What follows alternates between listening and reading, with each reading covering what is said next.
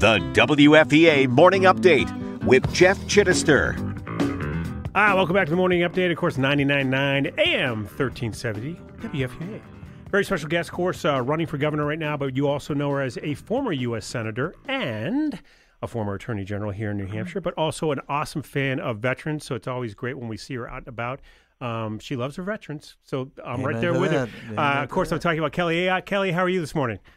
I'm doing great, Jeff. How are you? And I got to see you Saturday night at Boots and Buckles for Veterans Count. And of course, Jeff was the MC and did an awesome job. It was a great event, raised a lot of money for our veterans in New Hampshire. It was fun, and, and it, was, it was fun to see how everybody interacts. A lot of people didn't know you were running for governor. A lot of people didn't know you, and which surprised me. But it's kind of nice how, how you get that opportunity to get to talk to people. Uh, what do you think of Yeah. Marty? Wasn't he a great? Didn't he do a good great job? Oh my gosh, so powerful. That was amazing. Did you get a copy of the book? Uh, actually, I'm going to borrow the book from Sheriff Connolly. He got the book Excellent. at our table, and so I look forward to reading it after him. Um, and of course, his son is in the Coast Guard, Yes. and my daughter's in Air Force, so we always commiserate about that. Oh, we're going to commiserate a little bit more about that in a minute. Hey, I don't know if you had a chance to see this report that came out in New Hampshire Journal. Uh, New Hampshire is New England's number one in post-COVID job recovery. And of course, this was court, according to the Bureau of Labor Statistics. The data shows that New Hampshire did so much better than the other states. So, as a governor, when you think about hearing that kind of statistics, what what do you generally think about uh, about how one um, the experience of dealing with COVID, and then also coming in as governor, some of the things that you might want to co- go ahead and amplify? Yeah, what what it says to me is that our model is the right model. If you look at our other the states surrounding us, and I always pick on Massachusetts, but they deserve being picked on Of course they do. because you know we don't have an income tax, no sales tax, low business taxes. You know the attitude in New Hampshire is more about freedom for small businesses that create jobs, and to me that is the foundation that makes the difference for New Hampshire. And we're the only state growing in population in New England. Jeff. It's not an accident because people are leaving these high tax, less freedom states and coming to our state. Uh, so that model is let's continue that model. Let's strengthen the model. And I want to make our government even more transparent and better, just even for how average people interact with their state government. So I think we can be even more business friendly, but we're on the right path. And, uh, you know, obviously the numbers show it. And we see that also on our ranking on freedom, on taxpayer return. You know, we're number one for children. Like, you go through all, each ranking. Well, I'm, and once again, we're talking to Kelly Ayotte. Uh, once again, this is the morning update, 99.9 AM 1370 WFEA. I, I'm glad you said that. You know, one of the things, though, Kelly, you know, you're getting in a lot, somewhat hot water with your slogan, you know, don't mass up New Hampshire.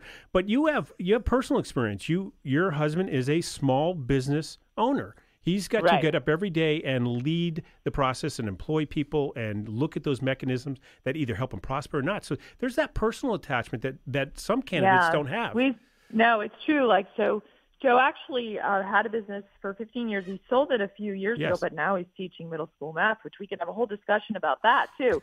but I will tell you that that experience, because our small business owners, they put their listen. We maxed our credit cards out, personal loans, all that to start that business, and you know worked so hard every day, care care about your employees, put people to work go out there and do it. That's the foundation of the hard work in New Hampshire and the, the good jobs and what's happening. Uh, but if you put, I remember every time something would come, especially from Washington, uh, to put another, you know, post another poster or do this, do that, like do another regulation, Oh, yeah. file this paperwork. Like when you're a small business, like you don't have an army to do that. Like this is not a bureaucracy. You're like you own the small business and you've got your workforce. You want to go out and uh, serve your customers, not file paperwork or do things that Washington or Concord asked you to do. So we saw it directly. Well, and it's and it's you know it's once again it's, it's the hurdle race, right? We put these hurdles up, and, and we can get over a few of them, and after a while, it just builds up, and it, it just wears down small businesses. it business. does, but you know what the problem is, Jeff? What? The problem is that there's often people um, that are in these positions that th- that don't don't appreciate somebody's got to do this, right? Yes. Like, oh, this sounds like a great idea. Not a great idea because some small business owner who is trying to make ends meet, trying to, you know, make sure that he can make payroll is can't doesn't have time for added paperwork, doesn't have time to jump through another hurdle. You want him or her to be out there, you know, helping create jobs, doing what Right. they do best, and helping their employees and their customers. And once again, we're talking to Kelly Ayotte, of course, running for governor right now. The morning update, 99.9 AM 1370 WFEA. Hey, we just had Brandon Chase on from the Attorney General's office. He was talking about the lawsuit related to TikTok. Uh, this is certainly, if you are elected, uh, it will be still there when you come into it. And general thoughts about that, especially from your past experience as an Attorney General.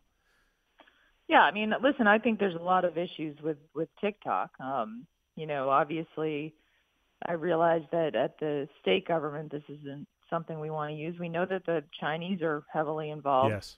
I think you know with the ownership there in pushing content on TikTok. So I think TikTok needs to be held accountable, and I don't I don't want the the Chinese uh, influencing uh, what material is is pushed, especially to our kids. So I appreciate what the Attorney General is doing uh, because there needs to be some accountability there.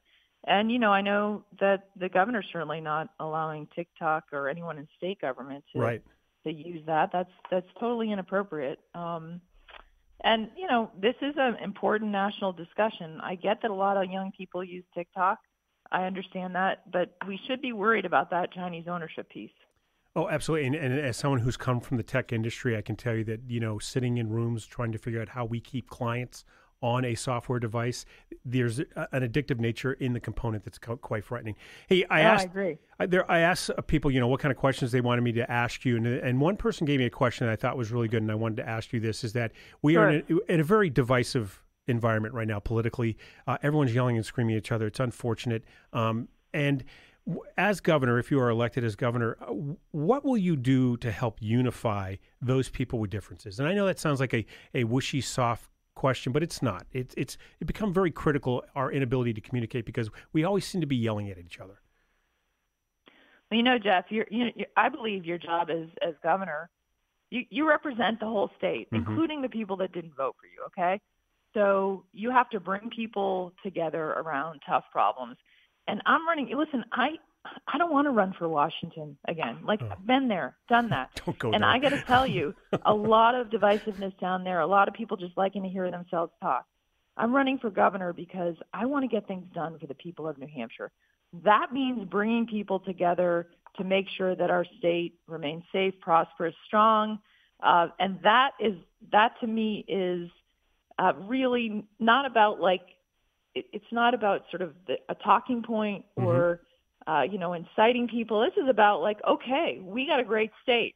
How can we be an even better state? How can we all work together to make that done? And I think as governor, that's that's the tone I have to set, and it should be a positive tone. Um, and I look forward to. We got a lot of things to be positive about in this Sure. state. So let's focus on that, and then also focus on our challenges. Listen, we can meet our challenges, but we're going to roll up our sleeves and get it done. Uh, it's not about you know having a war on Twitter. I mean that's useless. that does not put any food on anyone's table. Nope. It doesn't reduce anyone's housing prices. It doesn't reduce your energy costs. Like, uh, so I'm just not interested in it. Once again, we're talking to Kelly Ayotte. We're almost at the uh, time of a break. Of course, this is the morning update, uh, 99.9 AM 1370 WFEA. So I'm not going to let you go. I do this to candidates all the time. I think you might remember this when you're running for different offices. I do like to ask trivia questions to remember that these candidates certainly have policies, but they're people. Trivia questions. Trivia Uh-oh. questions. No, and, and so this one could really be dangerous for you in your household, okay? Because I know that your husband is a former A 10 pilot. As an Army guy, we love A 10 Oh, pilots. no. We love them.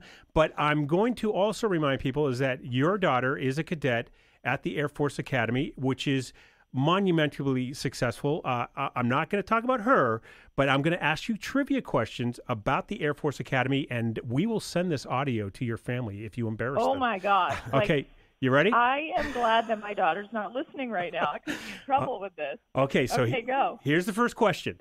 The Air Force Academy has a football team. What is their mascot? Oh, it's the Falcon. Okay, it's the on. Fal- okay, no. I, what kind of falcon? Oh, brother. Oh, it's oh, now you got me because uh, It's a big one, Kim. I should. The, the thing is, is that at the Air Force we actually we actually have there's Falcons Falcons. yeah. that that the cadets actually train. It's a big deal. The Falcons themselves fly into the field, so Um, no. Oh boy, you got So me there. I'm don't going to tell you. peregrine I'm not going to tell the listeners either. So you have to find out what it is. Okay, so you ready for the next trivia question? Yes. Okay, so you got Falcon. The current mascot, a Falcon. What is the Falcon's name? What is the Falcon's name? Yeah, he has a name. Or she. Oh, I don't know. I I, don't know. I, I don't want to That is, misgender. I really don't know, but I will tell you, like, hmm, I don't think they named him after Lance Sijan, who is, No. of course, a, we have a, one of the most prominent dorms on campus and the most, uh, and such a, a hero from Vietnam. So, no, I don't know what the name of the Falcon is. That's you got me there. Uh, I'm so embarrassed. You know, um, um, I when I see your daughter, I'm going to tell you it, the Falcon's name is Nova. Nova. Nova. Ah. so, but okay, we won't tell her, but you can surprise her. How's Nova doing? And see if she remembers. I will. She'll be really impressed with that. Uh, well, thanks, thanks for playing along, and uh, great, uh, great questions. We can't wait to have you back on again. Uh, you know, and uh, Jeff, I'm going to have to like definitely research my trivia before I come back on. I'm on. Well, I had another question. You, I, I know you're you're pressed, and we're pressed for time too. So we're going to let you go. But the other question I had was actually really good about the, the academy that I didn't know about. So I'll save that for next time. Um, All right, I love it. uh, we'll talk to you soon. Enjoy uh, join campaigning, and uh, once again, thanks a lot for coming We'll on. see you soon. Thanks, Jeff. Look Ec- forward to being back on. Take care. Awesome. The morning update, of course, we'll take a break. 99.9 and AM 1370 WFEA. Go Army, beat Navy and Air Force. What about the Marines? Come on. Yeah.